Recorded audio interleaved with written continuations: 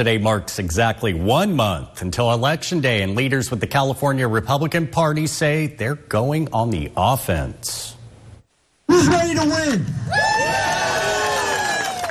Assembly Minority Leader James Gallagher speaking at this GOP Get Out the Vote event near Sacramento today. He was one of several GOP leaders who spoke to a crowd of more than 100, urging them to knock on doors and reach voters.